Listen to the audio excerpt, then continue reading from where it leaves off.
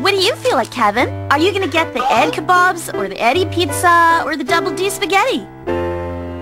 I'm ordering the barf bag. Where's that on the menu, Kevin?